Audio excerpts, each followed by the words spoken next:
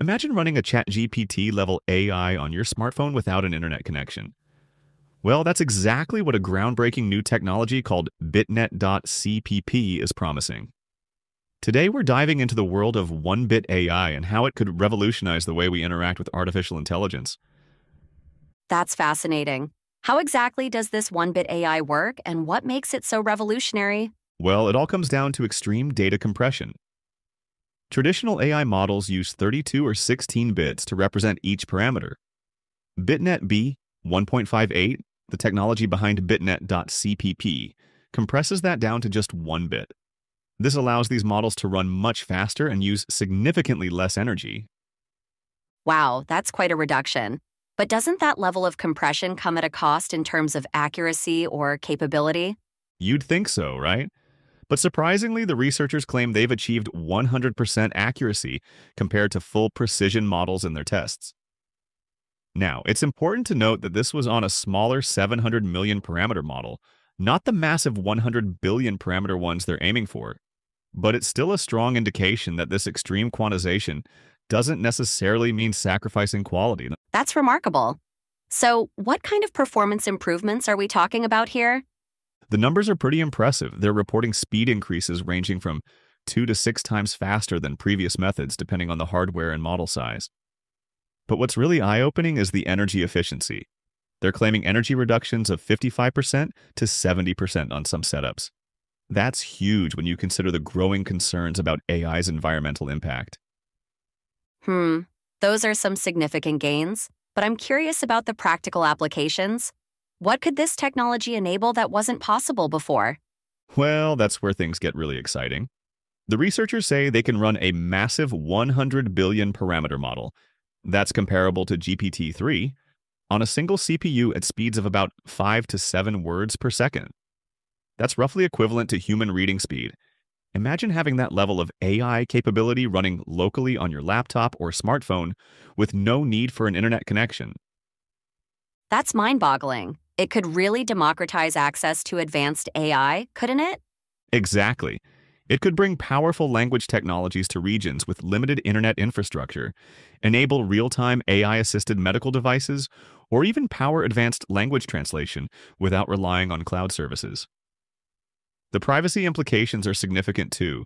Since the processing happens locally, there's less need to send sensitive data to remote servers. You know, that's an interesting point about privacy. Do you think this could lead to a shift away from cloud based AI services? Uh, that's a great question. While I don't think cloud based AI is going away anytime soon, there are still advantages to centralized processing for certain applications.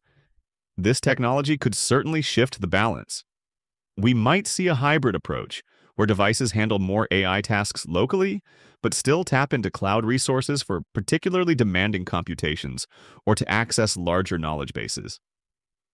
Right, that makes sense. So, how exactly are they achieving this level of compression? You mentioned something called BitNet B 1.58 earlier. Yes, BitNet B 1.58 is the underlying technology, and BitNet.CPP is the software framework designed to run these one-bit models efficiently. They use three main methods, or kernels, for compressing and processing the data. I2S, TL1, and TL2. Could you break those down a bit? Sure thing. The I2 underscore S kernel is the most straightforward. It compresses each weight in the neural network down to a 2-bit representation. When it needs to do calculations, it unpacks those 2-bit values back into their original form. The TL kernels, which stand for table lookup, are a bit more complex. They pre-compute a lot of the calculations and store them in lookup tables. TL1 compresses every two weights into a 4-bit index, while TL2 compresses three weights into a 5-bit representation. Interesting. So it's not just about compression, but also about optimizing how the calculations are performed. Exactly. It's a combination of clever data representation and optimized computation. And what's really cool is that they can choose different kernels depending on the hardware and specific use case. If you have lots of CPU threads available, you might use I2S. For large models with limited threads, TL1 might be better.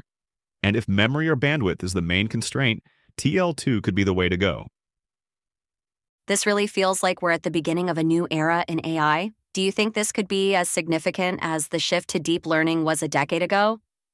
Hmm, that's a bold comparison, but I think there's definitely potential for this to be a major shift in the field. Just as deep learning opened up new possibilities by allowing us to work with much larger and more complex models, this one bit approach could open up new frontiers by making those large models more accessible and efficient.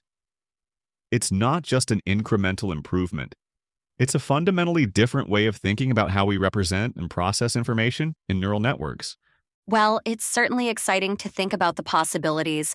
Any final thoughts on bitnet.cpp and the future of one bit AI? I think the key takeaway is that we're entering a new era of AI efficiency.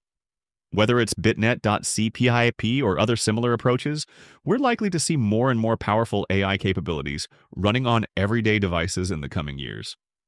It's an exciting time to be following this field, and I can't wait to see what comes next. As we've discussed, there are still challenges to overcome and ethical considerations to keep in mind, but the potential benefits are enormous.